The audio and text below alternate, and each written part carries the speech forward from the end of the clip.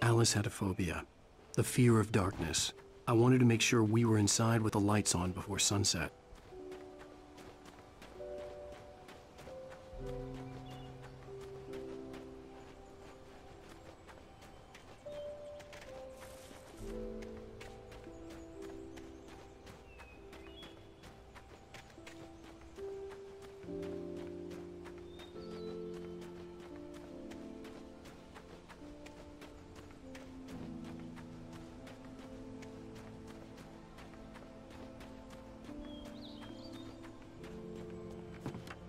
The cabin obviously got its name from the shape of the island.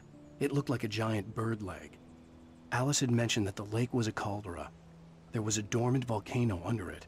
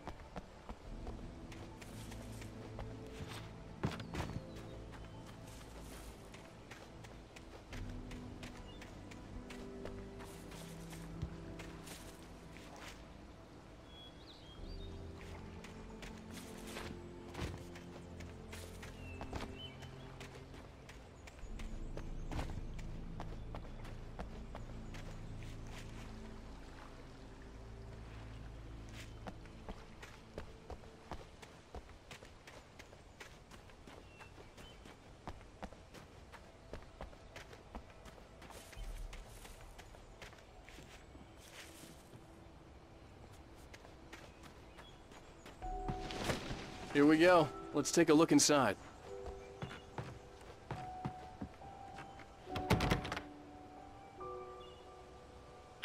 Come on. It's dark in there. We need lights. Can you figure out how to get the power on, honey? Sure thing. I'm on it.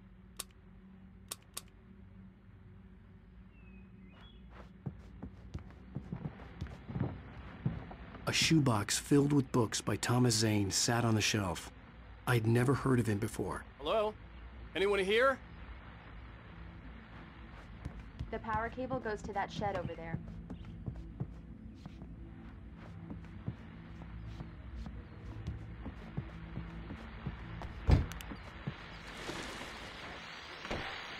The Deerfest guests have already started to arrive.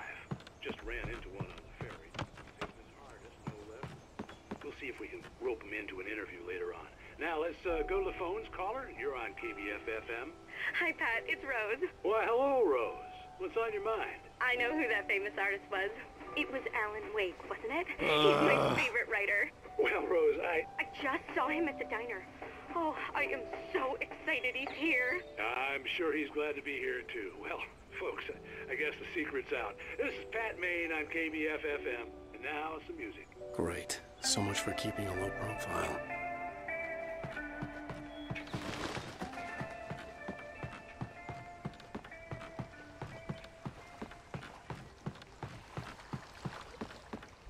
The water was clear but dark. It looked very deep.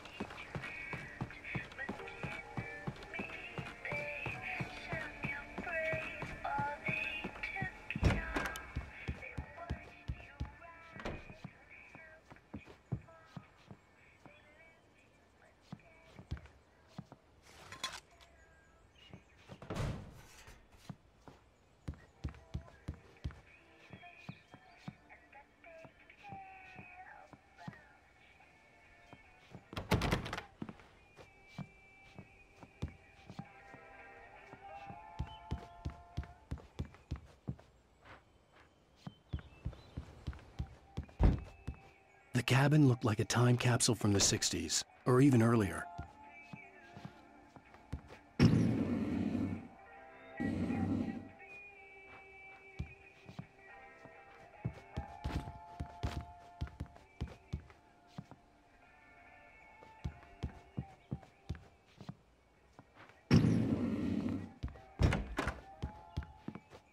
For a moment, the oppressive feel of the nightmare I had seen on the ferry returned.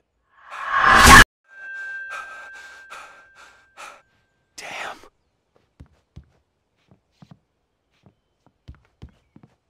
I needed to get the power running in the cabin. There had to be a fuse box or a generator somewhere on the island.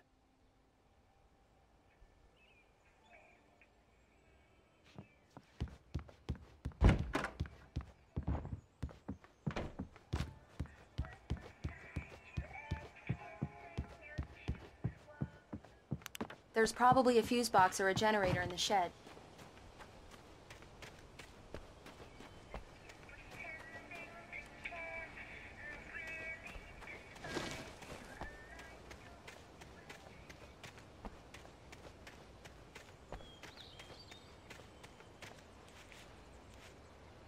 Alice had told me about Cauldron Lake Lodge.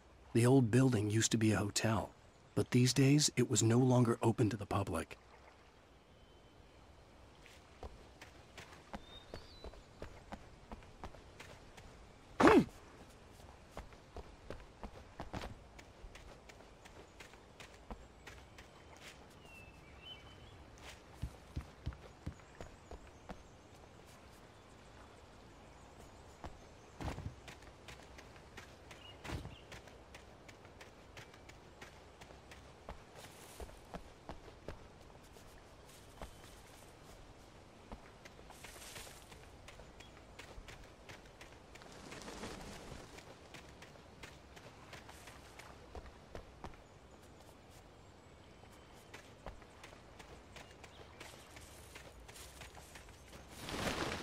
Old generator had been connected to the power cable.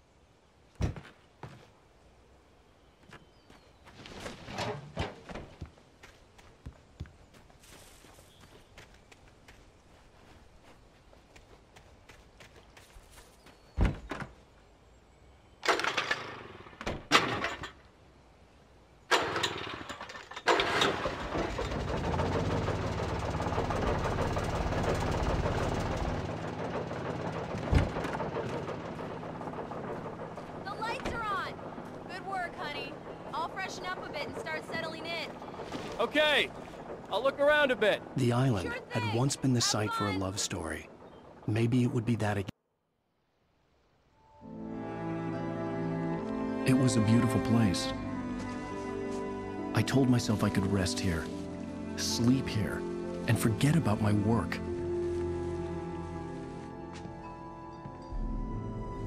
I thought we could be happy here,